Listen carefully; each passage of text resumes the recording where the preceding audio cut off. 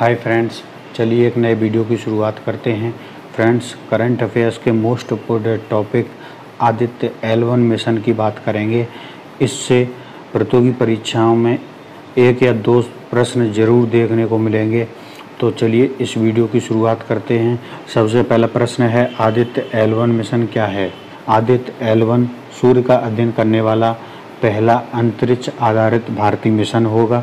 इसरो ने साल 2008 में इस मिशन की घोषणा की थी। या 2023 में इसको लॉन्च किया जा रहा है। अगला प्रश्न है, आदित्य एल वन मिशन को इसरो कब लॉन्च करेगा? तो आदित्य एल वन मिशन को 2 सितंबर 2023 को सुबह ग्यारह बज के पचास मिनट पर श्री हरिकोटा से लॉन्च किया जाएगा। इस मिशन को UR Rao satellite centre Bengaluru में असेंबल किया गया है। अगला प्रश्न है, आदित्य एल वन मिशन को इसरो कहाँ से लॉन्च करेगा? तो आंध्र प्रदेश के हरिकोटा स्थित सतीश धवन अंतरिक्ष केंद्र से इसे लॉन्च किया जाएगा। इस अंतरिक्ष केंद्र को स्पेस पोर्ट भी कहा जाता है। तो सतीश धवन अंतरिक्ष केंद्र श्रीहरिकोटा से। अगला प्रश्न है, आदित्य एलवन मिशन को किस प्रक्षेपण यान से प्रक्षेपित किया जाएगा? इसरो श्रीहरिकोटा से P S L V C fifty seven rocket के ज़रिए आदित्य एलवन मिशन को लॉन्च करके इसे पृथ्वी की निचली कक्षा में स्थापित करेगा और वहाँ से ये फिर सूर्य की कक्षा में ट्रांसफ़र कर जाएगा। तो ये हैं हमारे देश के प्रमुख प्रक्षेपण यान। पहले शुरुआत में एस था, उसके बाद उसका एडवांस ए उसके बाद उससे भी एडवांस पी फिर जी मार्क टू और जी मार्क थ्री तो इसको पी से भेजा जा रहा है। आदित्य एल वन मिशन को एल बिंदु तक पहुँचने में कितना समय लगेगा? आदित्य एल वन मिशन को एल वन बिंदु तक पहुँचने में लगभग चार माह, यानी 125 दिन का समय लगेगा और यह अगले पाँच वर्ष तक सूर्य का अध्ययन करता रहेगा। तो यहाँ पर दिखाई दे रही है पृथ्वी। तो पृथ्वी की सतह से, यानी कि श्रीहरिकोटा से ये लॉन्च होकर के पृथ्वी की निचली कक्षा में ये स्थापित कर देगा पीएसएलवी ये पृथ्वी की कक्षा में चार चक्कर लगाएगा और धीरे धीरे अपनी गति को बढ़ाता रहेगा। और ये पर, पलायन वेग प्राप्त करते ही ये पृथ्वी की कक्षा को छोड़ देगा और सूर्य की कक्षा में चला जाएगा।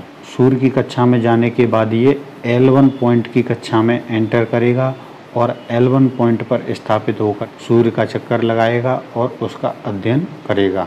पृथ्वी से एलवन पॉइंट की जो दूरी है, वो 15 लाख किलोमीटर है या 1.5 मिलियन किलोमीटर है, जबकि पृथ्वी से सूर्य की दूरी 150 मिलियन किलोमीटर है। आदित्य एलवन केवल एक प्रतिशत दूरी ही तय करेगा। 1.5 मिलियन की दूरी पर ये एलवन बिंदु पर स्थापित होकर के अपना अध्ययन करेगा। अगला प्रश्न है आदित्य L1 मिशन को कौन सी कक्षा में स्थापित किया जाएगा? एलवन कक्षा में स्थापित किया जाएगा। ये एलवन पॉइंट क्या होते हैं? तो इनकी भी चर्चा करेंगे।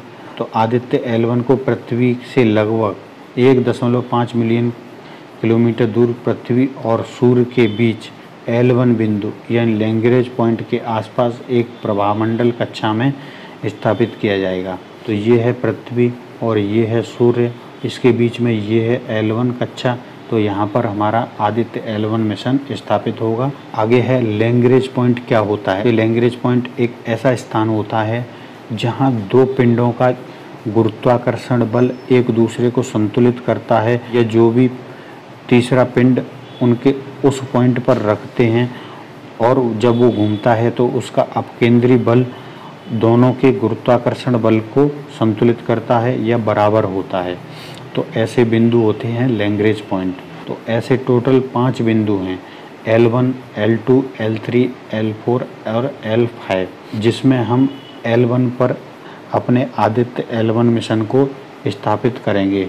यहाँ से आदित्य L1 मिशन मिशन सूर्य का सही से अध्ययन कर पाएगा। तो यहाँ पर ईंधन की न्यूनतम खपत होगी और निश्चित स्थिति में रहने के लिए एक पार्किंग स्थल का कार्य करेगा। आदित्य एलवन मिशन के उद्देश्य क्या हैं? तो आदित्य एलवन मिशन के चार प्रमुख उद्देश्य हैं। पहला है सूर्य के वायुमंडल और कोरोना की संरचना और उसकी गतिशीलता का अध्ययन करेगा।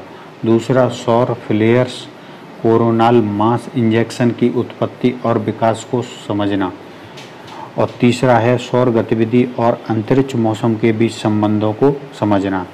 और चौथा है सौर गतिविधि के प्रभावों से पृथ्वी के वातावरण और जलवायु पर प्रभावों को समझना। आदित्य एल मिशन में सात पेलोड हैं।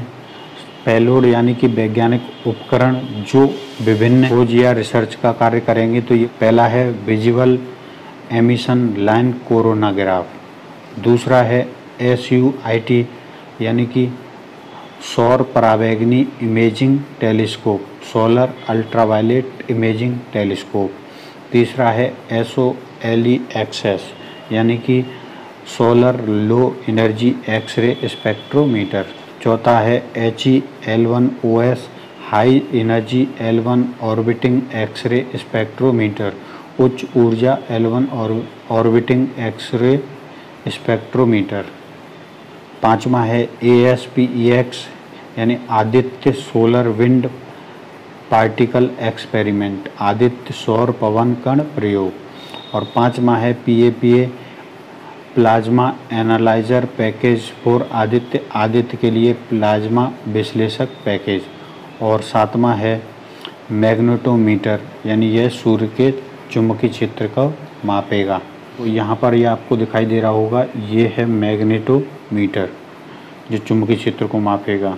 ये है पी ए पी ए और ये है वी ई एल सी और ये एस यू आई टी और ये है